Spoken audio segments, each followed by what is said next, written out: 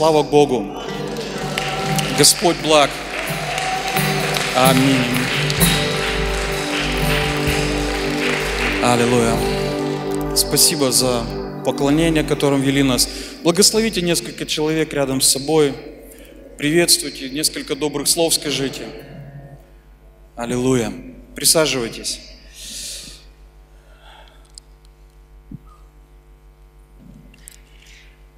Слава Богу за эту возможность среди недели собраться, чтобы изучать Слово. И тема, которую мы видим, это школа семьи. И в рамках этой э, школы я хочу поделиться с вами темой, которая называется «Общение в семье». Общение в семье. Ну, я начну с одной истории, которая записана в Евангелии от Матфея, 19 глава. Если вы помните эту историю, а, там такие слова записаны интересные. Пришли фарисеи и книжники к Иисусу Христу, и они допрашивали его по поводу разводов, кому с кем можно разводиться, кому нельзя разводиться. А, и интересно, Иисус им сказал в 9 стихе такие слова. «Но говорю вам, кто разведется с женою своей не за прелюбодеяние и женится на другой, тот прелюбодействует, и женившийся на разведенной прелюбодействует». Ну, вы скажете, вроде общения в семье тема, а я тут вам про, про прелюбодеяние, да? Ну, в следующий как раз раз мы будем с вами говорить о разводах, так что это введение. Но вот посмотрите, они задают его, искушая, да, вот, как, есть ли что-то, что мы могли бы использовать для того, чтобы развестись?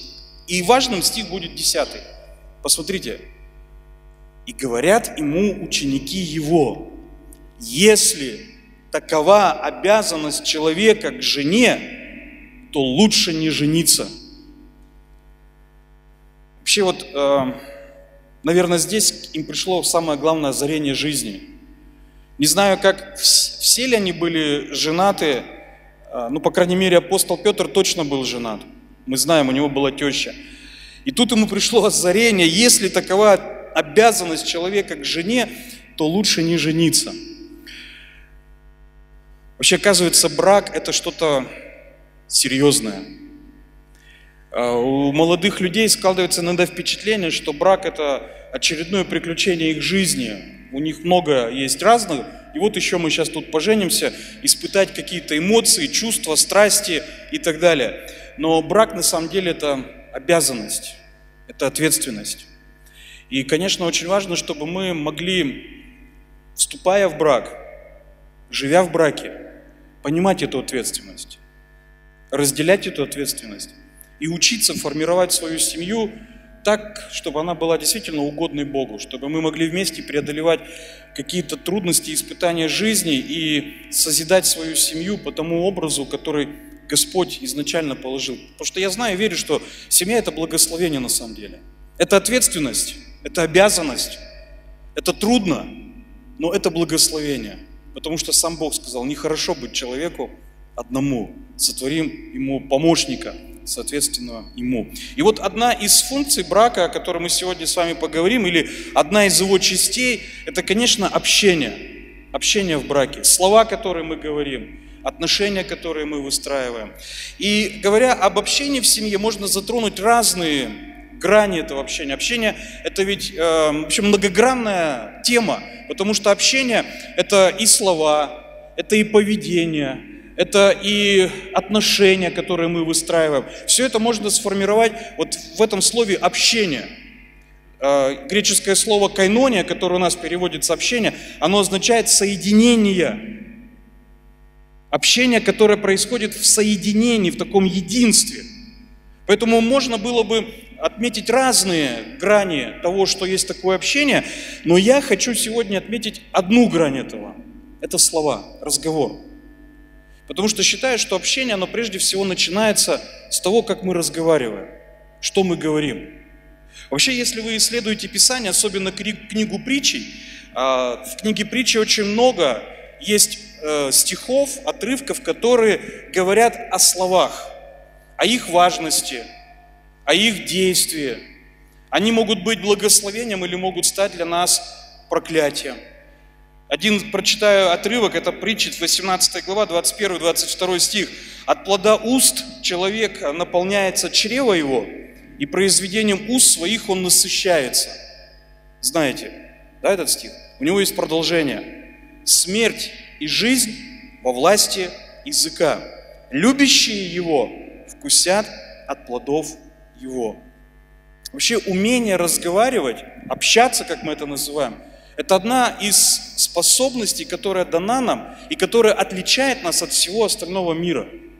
Животные, они, там можно сказать, они как будто бы разговаривают, да, какими-то своими звуками, знаками и так далее. Но вот именно разговор словами, осознанными речами, влияющими на нас, это способность, которая дана нам как высшему венцу творения, как людям, которые созданы по образу и подобию Божьему.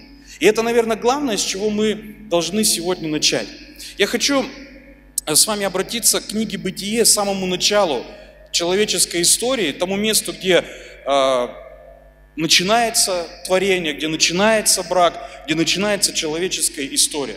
И э, в «Бытие» с первой по третью главы мы можем найти несколько очень важных для себя моментов, чтобы выяснить, какой должна быть наша речь или какой она была наша речь, с чего она вообще начинается, наша речь, наше общение.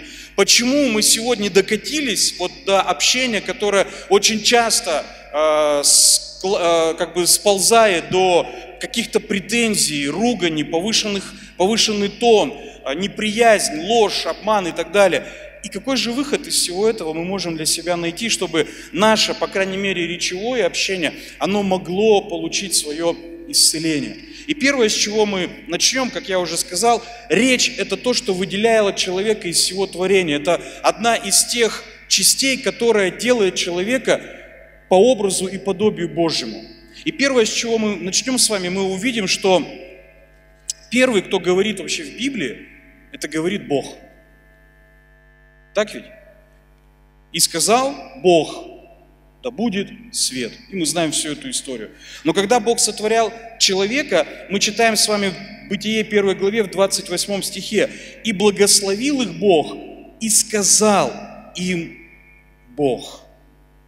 Обратите внимание, что самые первые слова, которые долетели до уш э, человеческих, это были не слова другого человека, это были слова Бога которую Он говорил человеку. И это на самом деле потрясающе, потому что Бог, Он, он является созидателем общения. Бог говорит с нами на языке, и Бог вообще дал человеку тот язык, на котором он будет общаться. Творцом языка, человеческого языка, является не человек. Творцом языка является Бог. Он первый начал говорить к нам. И то, как он говорил, имело некий смысл, некое значение. Вообще, когда говорит Бог, он говорит с определенными значениями, он не говорит просто так. Представьте на мгновение, вот, что мы верили бы в Бога, который молчит. Что мы могли узнать о таком Боге? Ничего. Вот почему идолы и названы безмолвствующими. И люди, которые поклоняются этим безмолвствующим идолам, они называются безумными. Потому что нельзя э, понять того, кому ты поклоняешься, если он не будет с тобой разговаривать. Если он тебе не откроет свою сущность, свое естество. И поэтому, когда мы видим на страницах книги «Бытие» вот то, с чего начинается история человеческая, да, с этой речи, которую Бог обращает к человеку, мы видим, что Он это а, а, общение, разговор, он ставит на высшую, как высшую ценность, которая как подарок дана человеку. Разговаривать. И кое-что мы можем увидеть для себя как пример, какая же должна была быть речь наша, да, вот наше общение, на чем оно должно было строиться. Для примера мы можем увидеть, как это общение нам дарует Господь Бог. Посмотрите, первый момент, который мы можем увидеть из Бытие первой, второй главы, когда Бог открывает себя, Он открывает себя в словах – свои намерения Бог не дает человеку какими-то знаками, таинственными знаками, которые человеку нужно было бы еще расшифровать, чтобы понять. Но Бог открывает себя и свой замысел, и свои намерения в словах, которые понятны. Это, это, я думаю, является очень важно, потому что через это мы и понимаем то, что Бог будет говорить к нам. Если бы эти слова были невнятны, если бы это было что-то таинственное, то у каждого из нас были бы проблемы сегодня, по крайней мере, в общении с Богом. Вторая очень важная истина, которую мы можем увидеть здесь, в бытие, Бог говорит убедительно, продуманно, последовательно, ясно и понятно – Почему я делаю на этом акценты, а, вот на том, что как говорит Господь? Потому что это очень важно для дальнейшего нашего понимания вообще речевого общения, общения как такового. Когда Бог говорит, Его слова, они убедительны, продуманы, последовательны, ясны и понятны. Каждый аспект своей работы Господь объясняет. У одного из пророков есть слова, что Бог, Он не делает ничего, если прежде не откроет своим слугам, пророкам. Когда мы читаем Писание, мы видим, что Бог, Он желает открывать свою волю людям для того, чтобы она была им понятна, ясна, чтобы то, что мы, то, как мы должны жить, как должны мы поступать, это не было каким-то метанием из угла в угол в темноте, но чтобы это было ясное и понятное действие, которое Бог нам объяснил и рассказал. Иногда у нас возникают проблемы в общении с Богом, потому что мы думаем, что Бог, Он всегда будет говорить нам на каком-то таинственном, непонятном языке, и нам нужно приложить столько стараний, чтобы Его понять вообще, Бога. Из-за этого у людей бывают проблемы в общении с Богом. И поэтому мы сегодня обращаемся к самым этим начальным азам, пытаясь понять, а какова же должна быть наша речь. Мне иногда страшно с некоторыми людьми общаться, потому что когда ты с ними разговариваешь, ты не понимаешь, о чем они говорят. Они говорят какими-то образами, знаками, загадками, стихами или еще как-нибудь, пытаясь выразить, что они какие-то умные или круче, чем ты. Бог не пытался показаться крутым. Он говорил человеку так, чтобы человеку было понятно.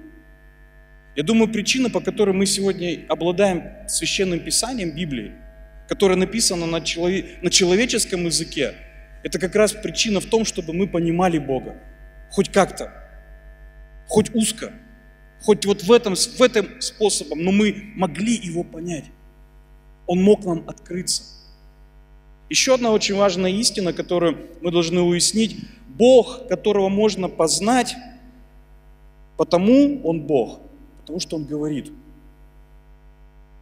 Бог, которого мы познаем сегодня, к которому мы идем, которого мы верим, это Бог, который говорит.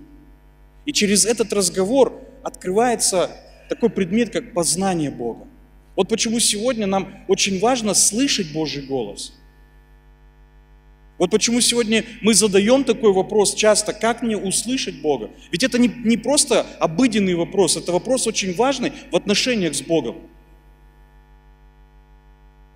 Но тот же самый вопрос, он будет и понятен для наших отношений. Если мы поймем, чтобы мы понимали друг друга, нам тоже нужно говорить.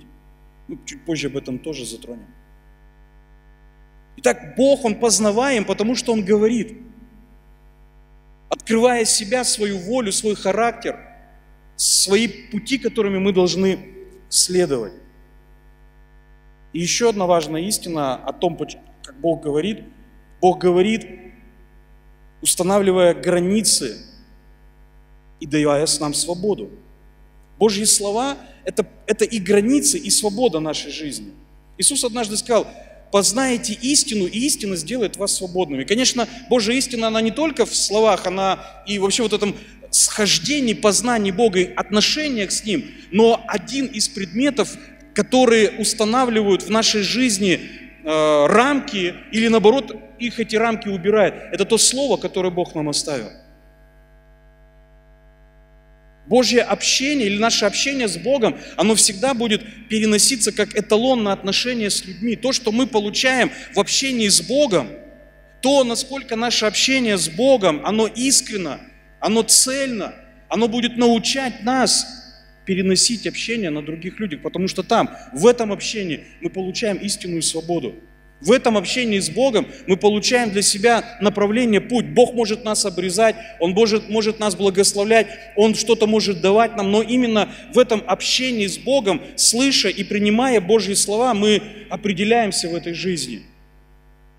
Мы определяем путь, или Бог определяет, точнее, путь, по которому мы с вами следуем. Итак, это первая истина, которую мы должны с вами сегодня запомнить. Бог говорит. И общение с Богом – это тот эталон, который был заложен изначально. С самого первой семьи, самых первых человеческих отношений Бог первый сказал человеку.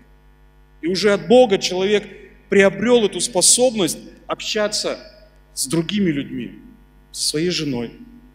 Я думаю, что без помощи Божьей нам очень трудно было бы понимать друг друга. Мужьям жен, женам мужей. А, но именно потому, что мы сегодня можем говорить о нашем познании Бога, о нашем сближении с Богом, о нашем общении с Богом, мы можем говорить и о второй части а, сегодняшнего нашего предмета. Люди говорят. Итак, Бог говорит, но Он дал эту способность для того, чтобы мы могли общаться, разговаривать, понимать и познавать друг друга. Фундаментом нашего общения должно было бы стать вот это общение, которое заложено в Боге. И я думаю, что в том первом мире, в котором жили Адам и Ева, как раз вот а, их основанием общения был Бог – ну, мы же читаем а, первую, вторую главы Бытие. Это был совсем другой мир, согласитесь. Это не сегодняшний мир. Это не мир, где сегодня идет так называемая война слов. Это был мир совершенный, где общение человека с человеком, мужчины с женщиной, мужа с женой, и их, как родителей, оно строилось, ну, еще детей не было.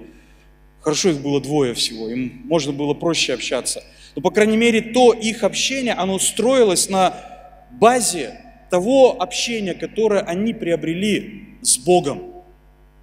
Мир и благословение было с ними. И то, что мы видим там в бытие, когда человек увидел свою жену, и они начали раз, этот разговор, это общение, люди были подобны Богу, и они могли говорить. Вот это отличало человека от всего остального творения. Мы же читаем, человек был создан по образу и подобию Божьему. Христианские богословы, христианские философы очень часто и много писали о том, как, какие это функции образа и подобия в нас. Но одна из важнейших функций образа и подобия, которая в нас есть, это способность говорить, общаться. Я думаю, это как раз и делает нас похожими на Бога. Функция и возможность общаться – Следующее, что мы можем отметить вот в этом способности человека разговаривать, слова придают направление нашей жизни и влияют на наши отношения с окружающими. Это тоже очень важный момент общения. Понимаем ли мы, что слова, которые мы с вами говорим друг другу, они направляют нашу жизнь? И они влияют на наши отношения с окружающими. Мы можем промолчать, отвернуться и уйти. И это никак не повлияет на наши отношения. Мы, может быть, там, конечно, взгляд или еще что-то. Но если ты произнес слово, вот слово сказанное, оно очень многое меняет вокруг нас. Слово сказано, оно, и как бы, я не знаю, каким это образом происходит, это, наверное, то таинство общения, которое дано было нам, но слова, которые мы говорим, они в какой-то степени формируют и направление нашей жизни.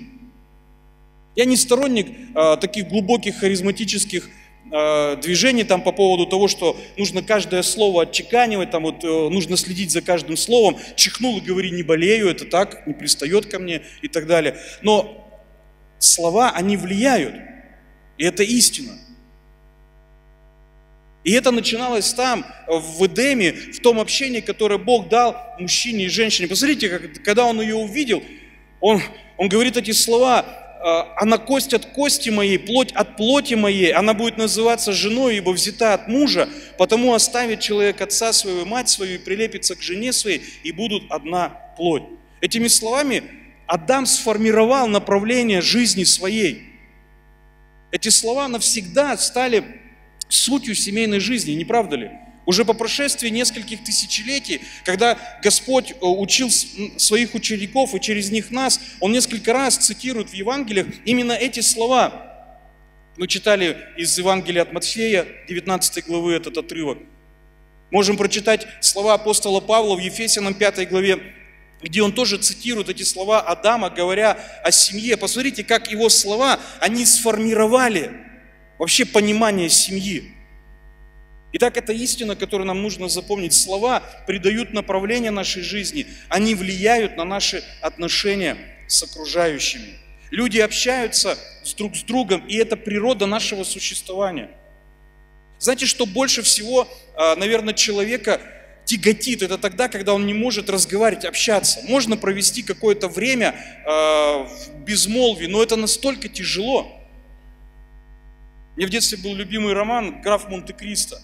Вот когда он, этот Эдмон Дантес оказался в тюрьме, самое гнетущее, что он переживал, это невозможность разговаривать. Говорить с кем-то, рассказать свою боль. Он начинал разговаривать с самим собой. Это первая ступень, мы знаем, какой болезнь, да? Когда человек начинает разговаривать сам с собой. Почему это происходит? Потому что это есть наша потребность. Потому что это то, что вложено в нас в Богом. Слова будут влиять на все, что мы делаем и куда мы будем идти. И Бог дал нам эту способность и определил ее как первоочередную, на которую нам нужно обращать внимание в своей жизни – Поэтому первые главы книги «Бытие», они посвящены вот этим отношениям, которые формируются. Формируются между Богом и Адамом, между Адамом и его женой. Этот разговор, который может быть здесь описан в очень скупых словах, он, он не дает нам подробно взглянуть на что там происходило, но я знаю и верю, что а, там было что-то, что формировало их в этом разговоре. Мы чуть можем приоткрыть эту завесу тайны в третьей главе, когда Бог в прохладе рая спустился к ним, Он искал человека, потому что Он давал эту, человеку эту возможность разговаривать с самим собой, то есть с Богом, разговаривать друг с другом. Это была такая потребность, которая и давала им ту, тот источник жизни, держащий их э, в Божьих руках. Люди используют слова, чтобы с их помощью передать смысл, который они вкладывают в окружающие предметы и явления.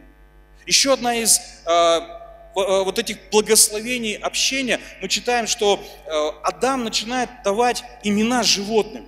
Он начинает описывать их. Вот это интересно. Почему их нельзя было назвать номером один, два, три, четыре, пять? Но Адам дает им имена потому, как он их видит. Он описывает этих животных, влагая а, в их будущие имена то понимание, которое было у него. Слова – это и описание мира, который мы видим. Поэтому наш языковой запас, он будет богатым, когда мы будем стремиться к тому, чтобы описать, говорить об этом. Некоторые люди общаются, помните, как это, 12 стульев, да, Элочка, людоедочка, у нее сколько там, 33 слова было, да? И весь ее огромный словарный запас, это весь ее мир. А там у нее была подруга, у которой было, по-моему, больше да, слов, она для нее была вообще идеал совершенства, потому что она могла еще какие-то слова сказать. Мы страдаем из-за того, что мы не развиваемся в, вот, в общении, в словах. И мы видим, что Бог изначально дал человеку эту возможность свое общение развивать. Через что? Через описание, через этот разговор. Мы говорим, потому что хотим знать, а чтобы что-то узнать, мы должны говорить. Разговор имеет большую ценность, поскольку интерпретация событий очень важна для нас. От того, как мы объясняем жизнь, будет зависеть, как мы будем к этой жизни относиться. Это все не просто какие-то формулы, это на самом деле и, и описывает эту суть общения, суть разговора. И вывод, который мы здесь можем сделать, а, несколько таких промежуточных а, выводов, и мы перейдем к следующему, к третьему, э, к третьей личности, которая здесь говорит в книге «Бытие». Наши слова принадлежат Господу. Он отец нашей речи, и Он сам великий оратор. Мы должны понимать, вот это фундамент. Наши слова – это дар. Общение – это дар, который дан нам Богом. Он сотворил наш язык. Он сотворил нас. Ну, я не имею в виду конкретно русский язык или английский язык. Вообще эту способность говорить, способность общаться. И наша речь из этого – это настоящее чудо. Она прекрасно имеет огромное значение, потому что ее источник – это Божья слава. Единственная причина, по которой мы можем понимать что-то в этом мире, состоит в том, что Он разговаривает с нами, Бог разговаривает с нами. И третий вывод. Слова принадлежат Богу, но Он позволил нам пользоваться ими, чтобы мы могли познать Его и служить Ему. Когда мы понимаем, что слова, речь – это прежде всего источник нашего общения с Богом, с Богом, тогда мы поймем, насколько это общение с Богом будет влиять на наше общение друг с другом.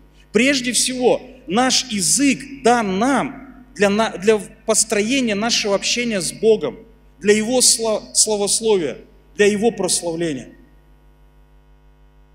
И вот здесь мы подходим к еще одному моменту, который, наверное, был самым трагическим в этой истории книги «Бытия». Он отразился на всех нас с вами – и поэтому сегодня мы с вами здесь и собрались, и поднялся такой вопрос, да, в школе семьи, вопрос общения, как это общение выстраивать, потому что там, в Эдемском саду, говорил не только Бог, говорили не только люди между собой, но там была еще одна личность, которая тоже умела говорить. Это был змей, сатана. И он тоже говорил, мы с вами читаем Бытие, третью главу, первый стих – Змей был хитрее всех зверей полевых, которых создал Господь Бог, и сказал змей жене, подлинно ли, сказал Бог. Посмотрите, все в мире изменилось, когда начал говорить к людям кто? Сатана. То, что мы с вами сегодня имеем, проблемы в общении с друг с другом, их не было в начале.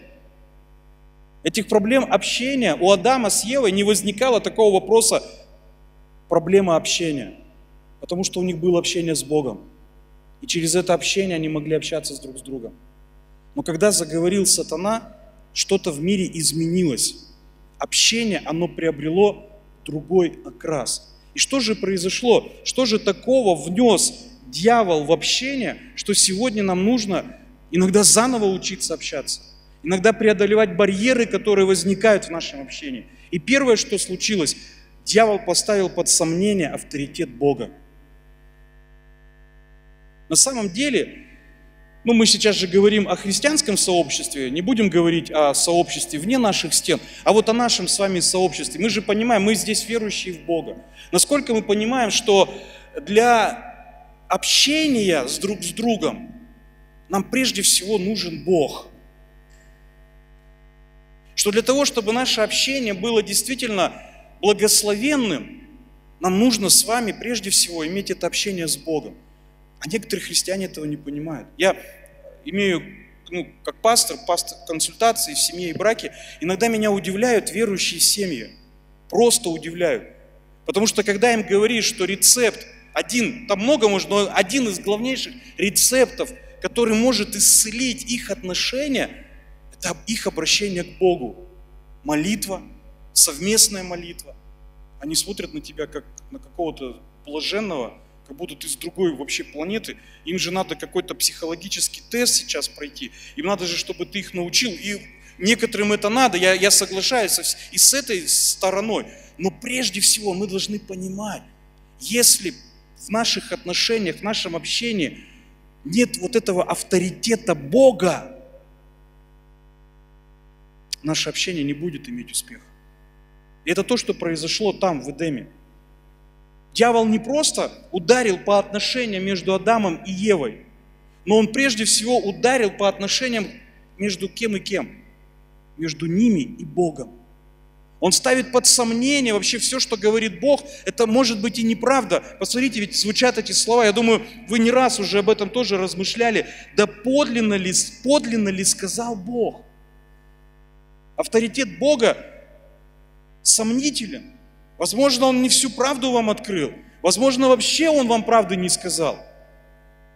И, соответственно, когда у них закрались эти сомнения в отношении Бога, в послушании Богу, следование за Богом, произошло то, что они Божье присвоили себе. И они посчитали, что они могут теперь взять то, что принадлежало Богу, и они могут это использовать как свое. Многие проблемы в нашем общении возникают из-за того, что мы незаконно присвоили себе Божью власть. Власть в общении. Мы говорим то, что хотим. И говорим это так и тогда, когда это нам заблагорассудится. Мы разговариваем друг с другом часто, как будто сами являемся Богом, а не Его творением. Мы призваны подчиняться Богу. Иногда у меня складывается впечатление, я вот общаюсь с, с верующими, с братьями, сестрами, читаю какие-то э, в социальных сетях какие-то блоги и так далее. Иногда мне складывается впечатление, что сегодня христиане, они более справедливее Бога, более милостливее Бога и более добрее, чем Бог. Они занимают, мы занимаем очень часто место, которое должен был бы занять Бог. И приписываем Его власть себе. И в общении мы сегодня, после того, как дьявол разрушил авторитет Бога в людях, в умах, в сердцах людей, мы сегодня занимаем это место Бога, претендуя на этот глаз последней инстанции. И очень часто наше общение терпит крах, потому что мы разговариваем с друг с другом как боги. И мы хотим доказать, что я более божественный, чем ты. Я более Бог, чем ты. Я высший Бог. Авторитет Бога под сомнением. Посмотрите, сатана он совершенно иначе толкует факты и смысл, который Бог изначально объяснил Адаму и Еве. И мы продолжаем сегодня жить в этом беспорядочном и запутанном мире, наполненном вот этим множеством различных толкований. Ведь наше восприятие окружающего мира основывается не на самих фактах, очень часто не на фактах, а на их толковании – мы имеем проблему в общении, потому что мы разговариваем друг с другом не используя фактически, да, как говорят, материал, а мы его уже интерпретировали в себе. Мы уже решили для себя, как это будет, да, что нас, мы-то уже думаем, вот на самом деле это было вот так. Ты мне сейчас что хочешь говори, а я-то знаю ведь на самом деле. Что я же ведь тоже, я ведь Бог для себя. У меня есть понимание, и я знаю, что это было – и как это было. Посмотрите, часто в нашем общении мы кого-то обвиняем или пытаемся кого-то исправить, не разбираясь вообще, почему человек дошел до такого состояния, или почему это произошло в его жизни. Нам не важны факты. Мы интерпретируем ситуации и события так, как это выгодно нам часто, так, как это мы для себя решили. И вот эта проблема общения, которая пришла в тот момент, когда сатана заговорил. Если бы мы просто на мгновение, вот в нашем общении, когда у нас возникают споры, непонимание, когда мы пытаемся друг другу чего-то доказывать, если бы мы на мгновение остановились и просто задали где-то внутри себя вопрос, а, а что вообще надо Богу сейчас в этот момент? Мы же не можем остановиться. Вот я честно признаюсь, я очень заводной в этом плане. Ну, сегодня жены нету, поэтому можно поговорить. Она бы, ну, она бы много могла, наши жены много могут о нас, мужьях, порассказывать. Я завожусь часто с полоборота. Ну, наверное, Алексей тоже меня знает как пастора, как друга. И я могу, и, и очень, знаете, иногда я, я потом думаю, зачем вообще, почему я не остановился? Зачем чего-то, я пытаюсь что-то доказать, где это правда, где, где как это, какие должно было быть. А если бы мы в наших разговорах вот на мгновение остановились и просто где-то в своем сердце обратились к Богу и спросили, Боже, а что ты вообще хочешь вот в этой ситуации? Куда ты хочешь меня направить? Я думаю, наше бы общение пошло бы другим руслом. Мы бы потом не сидели и не думали, зачем я это говорил? Зачем я вообще туда полез? Зачем вообще это все было нужно? Но мы, мы боги. Мы боги. Еще одна вещь, которая произошла тогда. Сатана не просто поставил под сомнение авторитет Бога. Сатана впервые произнес ложь. Нам сейчас трудно это представить, но вы подумайте, до вот этого момента люди вообще не понимали, что такое ложь и неправда. Ее не было. Их общение, оно было искренним. Нечего было скрывать, ничего не нужно было прятать. Все было как на ладони, знаете? Вот все оно было открыто. Но когда пришел дьявол, и он начал говорить, в этот, в этот момент в общение пришла ложь. А что приносит ложь в общение? Она приносит скрытность, изворачивание, она приносит неискренность, она приносит очень многое, что на самом деле искажает сегодня общение наше друг с другом. И я думаю, что сегодня немногие бы из нас, мы бы проголосовали и руками, и ногами, чтобы сегодня все стало прозрачным наших. У нас же так много бывает, чего мы хотели бы скрыть, чтобы кто-то что-то не знал. Но именно вот эта ложь, она и разрушает отношения, разрушает искренность. И то, что там в Эдеме произошло, змей лгал, лгал умышленно, чтобы достичь своей цели. И когда они начинают встречаться с друг с другом Адам и Ева, то благочестивое, угодное Богу общение, которое основывалось на истине, чистоте, вдруг в этот момент было наполнено ложью, неправдой, обманом, и оно извратило то, что было у них изначально. Они даже с Богом нормально не могли больше разговаривать. Помните, там есть такой факт, как они, оказалось, что они ноги или наги. И они пытались скрыть эту наготу и спрятались от Бога, как будто Бог их никогда не видел до этого. Как будто Он никогда не знал их, не Он был их Творцом. И они спрятались, потому что в этот момент они переживали вот это прикосновение к нечистоте, к лжи. Появилась тайна, которую нужно было спрятать. Я думаю, что здесь, наверное, каждый из нас, мы хотя бы раз сталкивались или со своей стороны так было, или со стороны других людей. Но мы сталкивались вот с этой вот противной, да, нечистотой, когда тебе приходилось или самому что-то скрывать, или ты понимал, что от тебя сейчас что-то скрывают. Это было так гадко, это как будто тебя замазывало чем-то, когда ты был в этом замешан, или когда ты понимал, что люди тебя втягивают в это. Чистоты общения не будет, когда между нами наступает состояние неправды лжи, неискренности. И это то, что произошло там, в Эдеме. И еще одна вещь, которую, на которую нам нужно обратить внимание. Дьявол не только внес разрушение Божьего авторитета, он не только внес вот эту нечистоту, ложь в разговор, в отношения, но он еще и внес обвинения, которые мы сегодня предъявляем друг другу. Но самое страшное, мы начали предъявлять обвинения Богу. Ну, вы знаете, это знаменитое, да, когда а, Адам, ну, Ева сначала сказала это, змей мне дал. Адам, когда Бог его спросил, он кому сказал? Это вообще Ева дала, которую ты мне дал.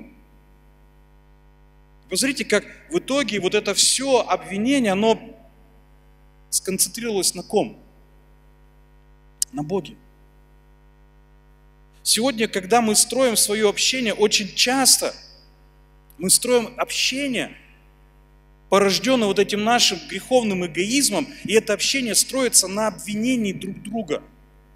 А в итоге-то мы, мы этого не, не, не, об этом не задумываемся, но это так. Обвиняя друг друга, мы же на самом деле обвиняем Бога, который дал нам мне жену, тебе мужа. Ведь когда у нас есть претензии к друг другу, даже если эти претензии, как нам кажется, они оправданные, на самом деле эти претензии, они обращены прежде всего к Богу, который соединил нас, который создал нас как семью. Не задумались ли вы, братья, когда мы обвиняем своих жен? Мы как бы говорим Богу, Господь, наверное, ты что-то тут не доделал в ней. Или жены, когда мы обвиняем своих мужей. А когда мы на детей нападаем и обвиняем их в чем-то, на самом деле наша претензия, она ведь не только к ним. Эта претензия еще и направлена к Богу, который есть начальник и совершитель нашей веры и жизни. Когда мы обвиняем церковь, когда мы обвиняем братьев и сестер, обвиняя друг друга, мы на самом деле мы обвиняем того, кто стоит за каждым из нас – и это то, что принес дьявол в общение людей. Его цель и была в этом, обвиняя друг друга, в итоге они обвинили Бога. Этого и добивался дьявол, расстроить, разрушить эти отношения доверия, которые были у человека с Богом. И вот эта трагедия отношений, она стала проблемой, которая не только коснулась Адама и Еву, но и нас, как их наследников, как апостол Павел пишет в послании к Галатам, все мы дети Адама, и от него мы восприняли это состояние той греховности, то получается, что и сегодня, по прошествии уже этих тысячелетий, мы и вынуждены подходить к этому вопросу, как или каким должно быть наше общение. Из-за того, что дьявол дискредитировал Бога, из-за того, что он внес ложь, из-за того, что он а, привел нас к этой точке, когда мы начинаем обвинять друг друга, этот эгоизм, который прет из нас, мы пытаемся защищать себя, несмотря на других людей, нам не важно другие, нам, мы, мы сами для себя стали важны. Все это привело к тому, что наши отношения оказались разрушенными. Есть такое выражение «война слов». Вот сегодня сражение или война, которую мы с вами ведем – это война наших слов, война общения. И здесь нам нужно исцеление. Нам нужен что-то, что могло бы изменить это. Ведь согласитесь, что каждый из вас здесь сидящих, я, вы, мы все проходим этот момент. У нас есть проблемы в общении. Они могут связаны быть с разными причинами, но в любом случае эти причины, они связаны с одной главной проблемой человека. Это грех, который вошел в нашу жизнь. Вот те святые отношения, которые были до грехопадения, вот то, что Бог говорил, то, что язык был даром, благословением, то, что он был создан для общения с Богом и наслаждением, и через это наслаждение могло строиться общение. Вот все то, что было хорошо весьма, из-за греха было разрушено. И здесь нам нужно практически, что-то практическое. А кто или что может исцелить эти наши отношения? Посмотрите, как Иаков, он описывает сегодняшнее наше состояние. Э, ну, знаете, это тоже, наверное, отрывок Иакова, 3 глава. Мы будем читать с 3 стиха. «Вот мы влагаем удила в рот коням, чтобы они повиновались нам, и управляем всем телом их. Вот и корабли, как невелики они и как не сильными ветрами носятся, небольшим рулем управляются, куда хочет кормчий. Так и язык. Небольшой член, но много делает. Посмотри, небольшой огонь, как много вещества зажигает. И язык, огонь, прекраса неправды. Язык в таком положении находится между членами нашими, что оскверняет все тело и воспаляет круг жизни, будучи сам воспаляем от гиены. Не знаю, возможно, это то, как раз к чему мы, о чем мы сегодня говорим. Этот грех, который вошел. Ведь суть греха была как раз в том разговоре, который Адам и Ева, они имели с дьяволом. Он, из, он совратил их, обманув, дискредитировав Бога, вложив в их мысли эти обвинения. Ибо всякое естество зверей и птиц, присмыкающихся и морских животных, укращается и укращено естеством человеческим, а язык укоротить никто из людей не может. Это неудержимое зло, он исполнен смертоносного яда. Им благословляем Бога и Отца, и им проклинаем людей, сотворенных по подобию Божьему. Из тех же уст исходит благословение и проклятие. Не должно, братья мои, этому так быть. Течет ли из одного отверстия источника сладкая и горькая вода? Не может, братья мои, споковница приносить маслины или виноградная лоза смоквы. Также и один источник не может изливать соленую и сладкую воду. Настолько Иаков описывает вот это состояние сегодняшнего нашего общения – но есть ли выход? Можем ли мы найти сегодня что-то, что действительно может исцелить наши, нашу речь, наше общение, наши отношения? Я думаю, что все это есть только в одной личности, в личности Иисуса Христа.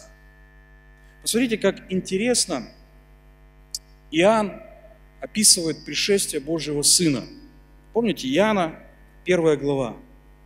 Посмотрите, как Иоанн описывает Христа. Вначале было Слово, и Слово было у Бога, и Слово было Бог. Оно вначале было у Бога. Все через Него начало быть, и без Него ничто не начало быть, что начало быть. В Нем была жизнь, и жизнь была свет для людей, и свет во тьме светит, и тьма не объяла его. Девятый стих. «Был свет истины, который просвещает всякого человека, приходящего в мир. В мире был, и мир через него начал бил, быть, и мир его не познал. Пришел к своим, и свои не приняли его, а тем, которые приняли его, верующим во имя его, дал власть быть и называться дал власть быть детьми Божьими, которые не от крови, не от хотения плоти, не от хотения мужа, но от Бога родились. И вот 14 стих и Слово стало плотью и обитало с нами, полное благодати и истины, и мы видели славу Его, славу как единородного от Отца. Знаете, одна, наверное, из причин, почему Христос назван Словом, и почему это Слово, оно воплотилось, для того, чтобы исцеление пришло в наши отношения, в наше общение – ведь суть греха, это мы отмечаем это во всей Библии, ведь суть греха, она прежде всего кроется в нашем сердце. Проблема в нашем общении с окружающими возникает не из-за того, что мы не умеем разговаривать, а проблема возникает из-за того, что внутри нашего сердца живет грех. Наша брань не против плоти и крови. Мы это четко понимаем и знаем. Мы воинствуем не против людей, но воинствование, которое происходит, оно происходит в нашем сердце. И вот Христос воплощается, это слово становится воплощенным словом здесь, на земле, для того, чтобы в нем мы увидели этот пример той перемены, которая может прийти и в нас, если мы соединимся с этим вочеловеченным словом. Мне нравятся э, слова э, Афанасий Великий был такой отец церкви, и он противостоял арианской ереси и говорил о божественности Христа. И вот однажды он сказал такую фразу. Бог очеловечился, чтобы человек обожился. Она такая православная фраза.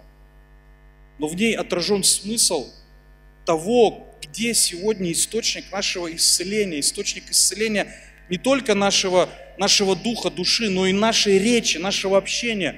Это Христос, который стал человеком, Слово, которое стало плотью и обитало с нами, полное благодати и истины. То, где мы можем сегодня с вами найти э, способ исправиться, вот этот единственный способ нашего исправления, он находится в Слове, которое стало плотью то есть во Христе. Поэтому апостол Павел призывает нас, говоря о наших отношениях, а, в послании филиппийцам, во второй главе он пишет, «В вас должны быть те же чувствования, какие и во Христе Иисусе». Чуть выше этого стиха он говорил о взаимоотношениях, он говорил, э, что о сострадании, о милосердии, о принятии. А дальше он говорит, где кроется эта сердцевина, вот этой способности принимать, прощать. Она кроется в том состоянии, насколько мы готовы погрузить себя в Христова, а Христова в себя. Насколько мы готовы воспринять те чувства и тот способ жизни, который нам предлагает Бог во Христе Иисусе. Слово стало плотью, потому что это был единственный способ исправить то, что было нарушено в нас.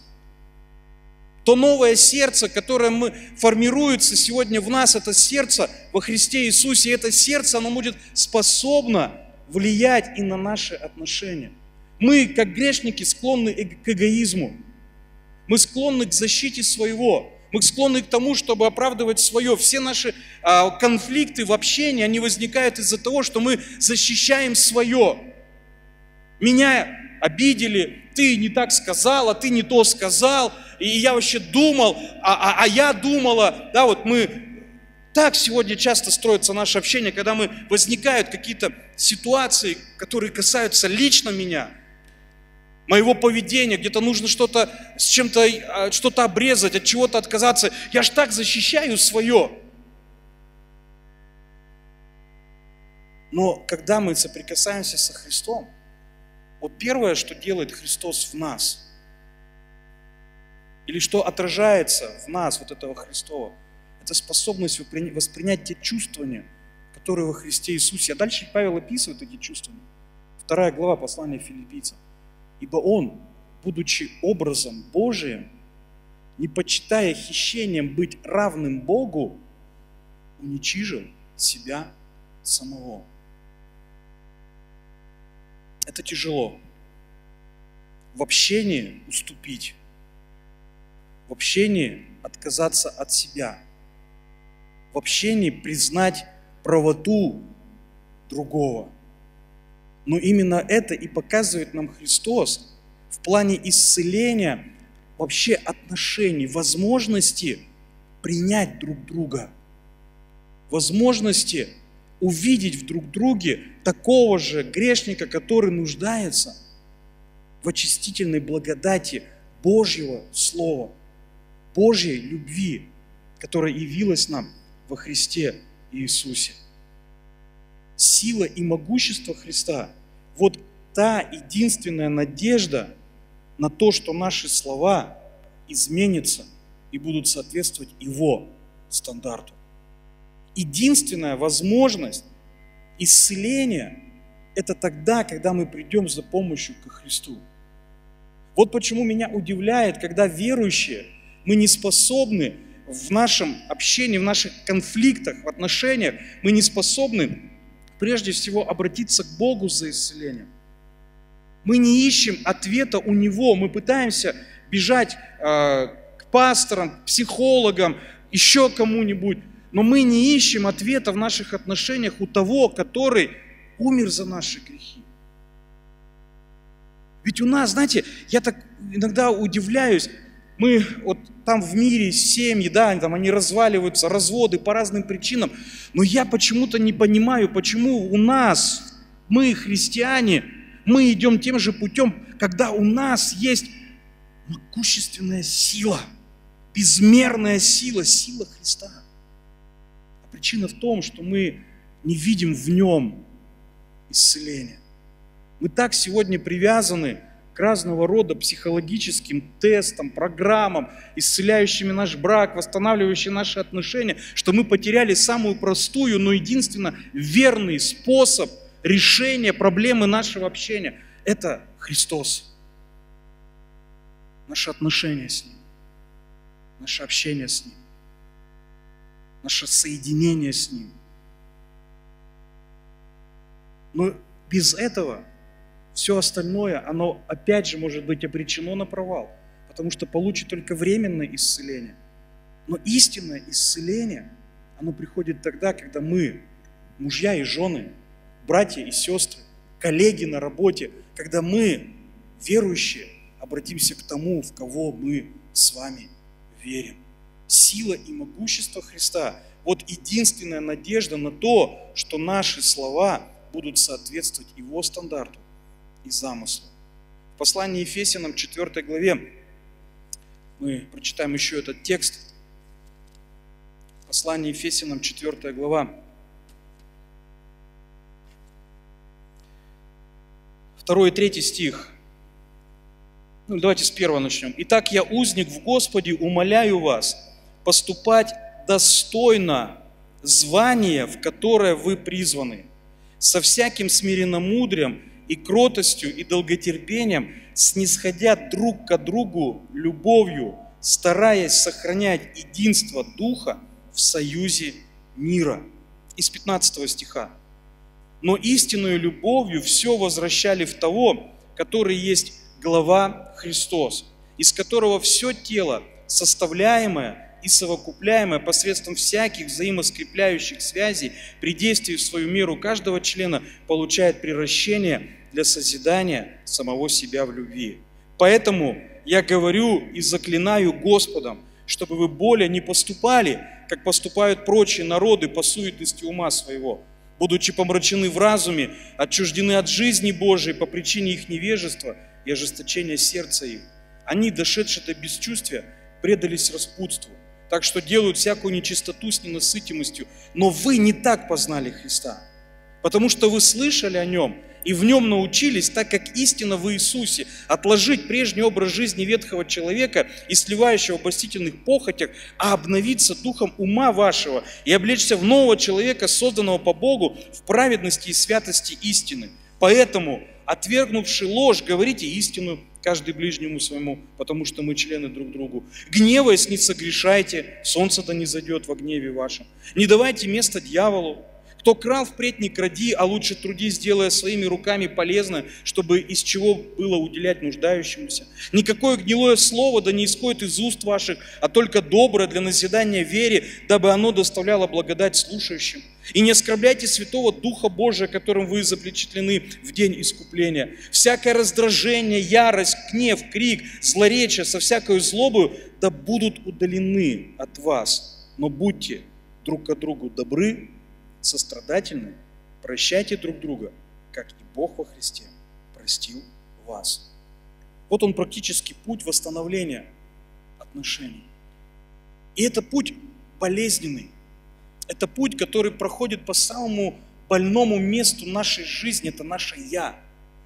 Когда нам приходится смиряться, соглашаться, где-то промолчать, где-то отойти от какого-то спора, дискуссии, но не воспалять этот язык, чтобы снова и снова доказывать, кто на самом деле Бог в наших отношениях. И помнить, что у нас с вами есть безмерное величие, могущество. Это Христос, обращаясь к которому и живя в котором, мы можем приобрести исцеля... исцеляющие отношения. Когда наша жизнь погружается в Него, я знаю, Он будет говорить через нас. Он будет снова тем, той сутью нашего общения, которая изначально была дана человеку в Эдеме. Это благословение общаться, говорить, узнавать, понимать друг друга. Вы же отложите прежний образ жизни и облекитесь во Христа. Давайте сейчас помолимся.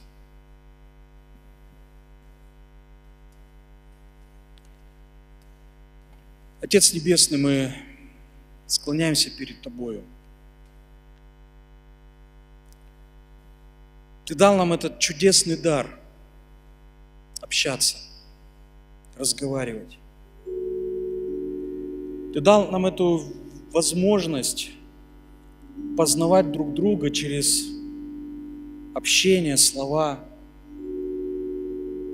Но мы также должны признать, Господь, что этот дар был разрушен, искажен, когда дьявол вмешался. когда ложь и неискренность пришла в наши сердца, когда грех разрушил тот святой образ и подобие, которое было в нас. И сегодня мы, Господь, здесь в это время, в 21 веке, наследники Адама,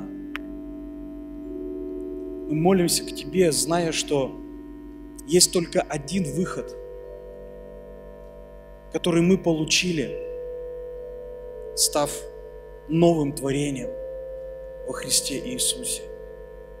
Как однажды в Адаме все согрешили, так сегодня во Христе мы все можем быть обличены праведностью, праведностью Твоей славы, Твоей чистоты.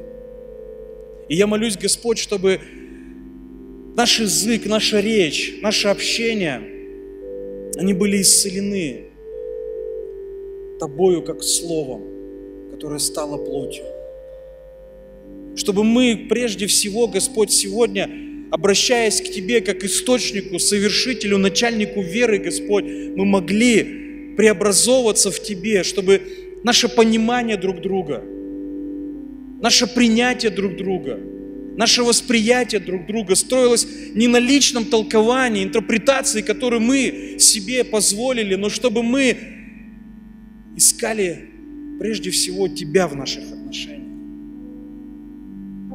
чтобы мы сегодня смотрели на мир и жизнь, учились смотреть на мир и жизнь не глазами нашего греховного «я», но глазами Христа, который стал нашим Господом и Спасителем. Я молюсь, чтобы в наших семьях, в наших отношениях между мужьями, женами, между родителями и детьми – чтобы в наших отношениях между как братьями и сестрами здесь, в церкви, мы, Господь, прежде всего полагались на эту исцеляющую благодать Твоего Слова. Полагались на Тебя, нашего Спасителя. Потому что Ты возвращаешь нас оттуда, откуда мы не спали. Ты снова одеваешь нас в этот образ праведности и святости, сотворяя нас новым творением и давая нам новые возможности в жизни, в вере, в любви, в общении. Я молюсь, Господь, чтобы Ты поистине был центром нашей жизни, чтобы мы, как мужья и жены, мы сделали эту остановку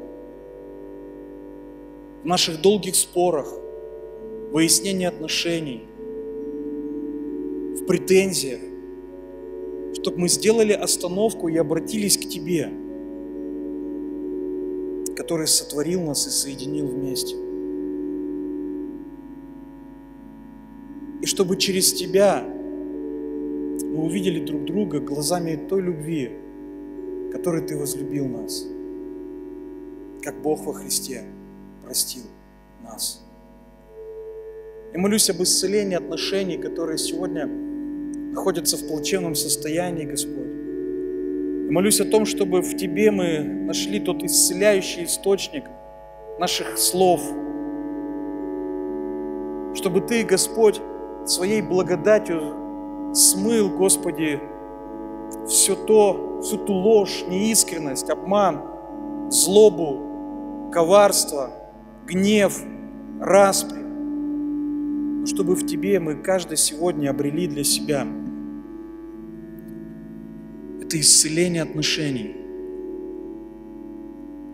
источник восстановления, зная, что в Тебе нам дано безмерно величие, могущество – Благослови каждого здесь, Господь. И нас, как Твой народ. Мы молимся Тебе, наш Небесный Отец, во имя Иисуса Христа. Аминь.